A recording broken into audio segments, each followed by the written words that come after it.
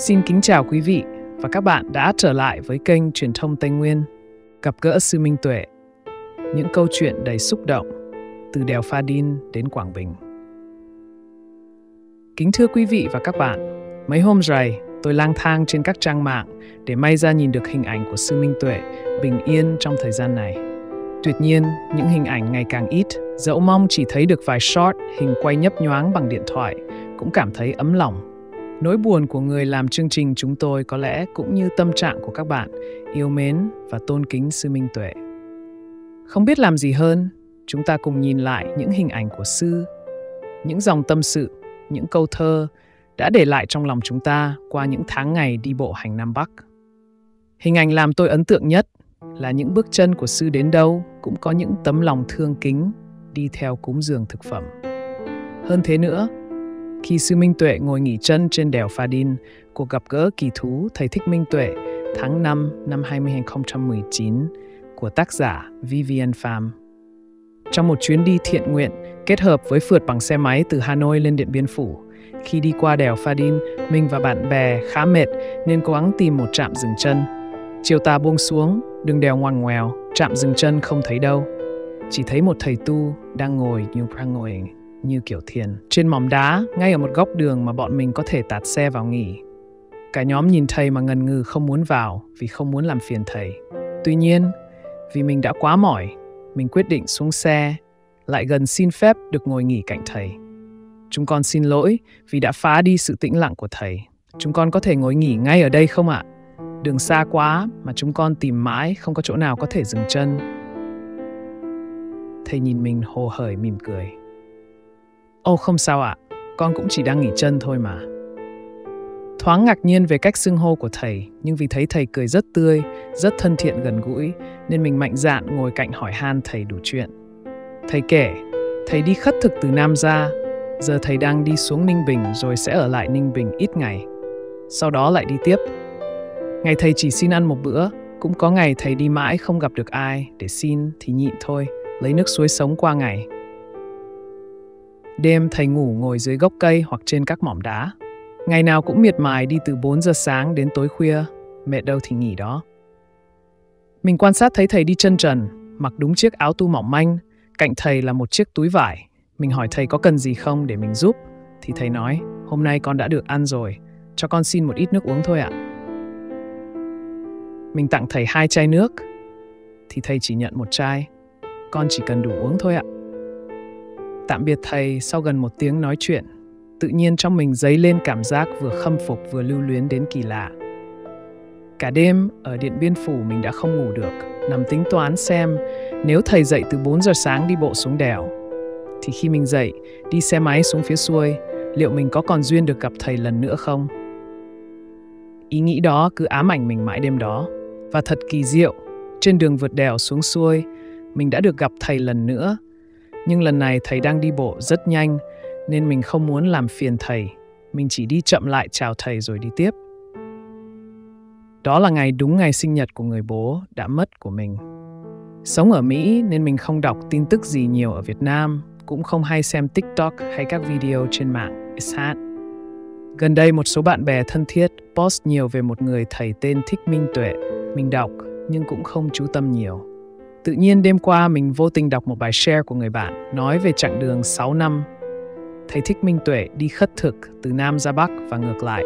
Kèm với ảnh của thầy thì mình mới giật mình nhớ lại ngày mùa hè năm 2019 đó. Mình đã được ngồi dưới tán cây mát mẻ, đàm đạo với thầy gần một tiếng về Phật Pháp và cõi tu tập. Nước mắt mình cứ thế tuôn rơi. Thầy ơi, mong thầy luôn khỏe mạnh, chân cứng đá mềm nhé. Ngoài câu chuyện trên, khi thầy đến Quảng Bình, hình ảnh ấn tượng khi thầy ngồi dưới một gốc cây đa. Ngoài những người quay YouTube, còn rất nhiều người dân bao quanh sư đảnh lễ. Đặc biệt có một anh mặc quần màu xanh, sắc phục của công an, đã đến đảnh lễ sư bằng một bài thơ gây rất nhiều cảm động. Trong số những người làm cúng, tôi cũng có người là nhà thơ, nhưng khi nghe qua lời thơ này, rất cảm mến và thán phục. Lời thơ mộc mạc, ít trau chuốt, nhưng dậy lên luồng cảm xúc người nghe. Xin mời quý vị và các bạn cùng thưởng thức. Với một cái tâm thức người Phật tử thì có mấy cái câu thơ. Anh là công an nha mọi người. Ừ, công an á. tuy là không hay nhưng mà đây từ một cái tâm thức của con người. Để xin được đọc à, bạch thầy cho cho mọi người xin mời. ở gì đâu phật? Ở gì đâu phật? Lễ thầy ừ. Mỹ Huệ cốt đầu tần chân đất khắp nơi nơi. Chẳng có dép giày với áo tây. Đầu đà tu hành khổ người ơi. Dạo bước thầy đi nơi nơi. Bàn chân rướm màu màu phật tổ. Hai chữ di đà nở như hoa không tiền, không nhận tiền quà người biểu tình ngày dùng bột bữa đủ là thôi. Một cảnh chân tu ngủ chỉ ngồi tha ma vách đá nơi đồi bằng hồi hướng muốn dân đặng bình yên. Kết ra án tòa lòng thiên định bóng tựa phật đà dạng ánh linh.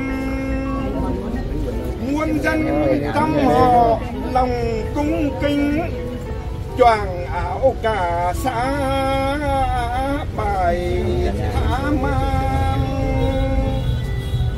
Khiêm nhường, mộc mạc, lòng uyên bác, xem nhẹ thân này có như không?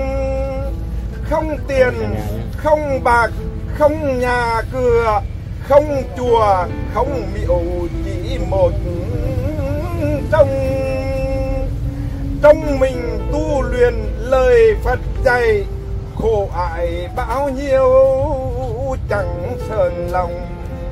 Bóng thầy minh tuệ thật mênh mông. A di đà phật. A di đà phật tuyệt vời. Rất tuyệt vời. Thôi công an đầu tiên công an nha mọi người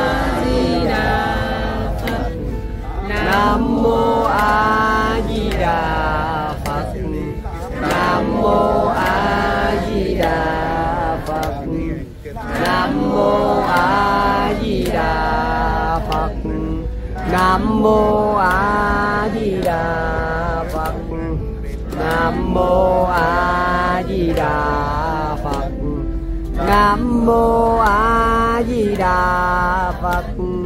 Nam mô a di đà phật. Nam mô a di đà phật. Nam mô a di đà phật. Nam mô a di đà phật. Nam mô a di đà phật. Nam mô a di nam mô a di đà phật. Nam mô a di đà phật. Nam mô a di đà phật. Nam mô a di đà phật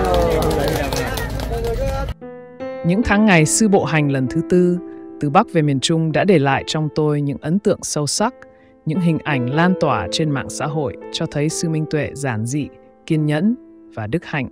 Sư không chỉ là một vị sư tu hành mà còn là biểu tượng của lòng kiên trì và sự tận tụy với lý tưởng của mình. Hành trình của sư Minh Tuệ đã không chỉ khơi dậy lòng kính trọng từ các Phật tử mà còn thu hút sự quan tâm và hỗ trợ từ chính quyền và các cơ quan chức năng địa phương. Sự phối hợp giúp đỡ cho sư được thực hiện con đường tu tập của mình là minh chứng rõ ràng cho thấy lòng tin của em vào chính quyền và các cơ quan chức năng là đúng đắn. Đối với tôi, sư Minh Tuệ là nguồn cảm hứng lớn. Đức hạnh của sư, sự kiên trì và khiêm nhường trong lối sống đã dạy cho tôi nhiều bài học quý giá. Nhìn sư, tôi cảm nhận được rằng cuộc sống này còn rất nhiều điều tốt đẹp và những giá trị nhân văn cần được bảo vệ và phát huy. Sư Minh Tuệ không chỉ là một người thầy dẫn dắt về Phật Pháp, mà còn là một tấm gương sáng để chúng ta học tập. Những hành động nhỏ nhặt nhưng đầy ý nghĩa của sư, từ việc chăm sóc cảnh quan xung quanh khu vực tu hành đến việc truyền đạt kiến thức đã góp phần làm cho xã hội tốt đẹp hơn, đầy tình thương hơn và sự cảm thông. Qua mẫu tin ngắn trên đài truyền hình, em càng thêm tin tưởng vào con đường tu tập của sư Minh Tuệ và sự hỗ trợ từ chính quyền. Người làm chương trình chúng tôi hy vọng rằng những giá trị tốt đẹp mà sư Minh Tuệ mang lại sẽ tiếp tục được lan tỏa, tạo nên một xã hội an lành và nhân ái. Xin cảm ơn quý vị và các bạn đã quan tâm lắng nghe. Xin chào và hẹn gặp lại quý vị và các bạn trong những video tiếp theo.